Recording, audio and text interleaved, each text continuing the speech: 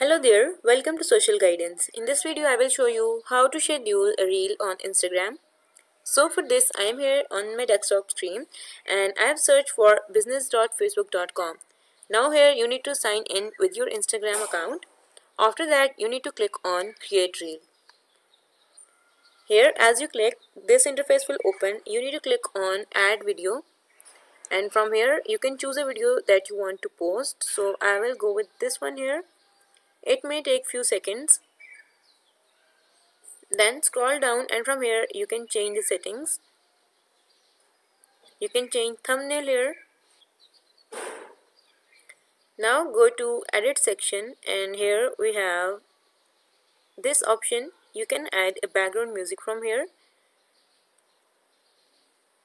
Then click on share and there we have scheduling option. You can click on schedule and here you can add time so we want to schedule it for tomorrow.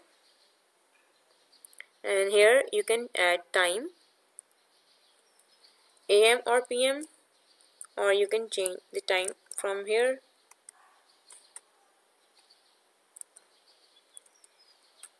Like this. Now click on schedule and your reel is scheduled. In this way you can schedule your reels on, on Instagram on PC if this video helped you, leave a like on the video and make sure to subscribe us. Thank you for watching. Bye.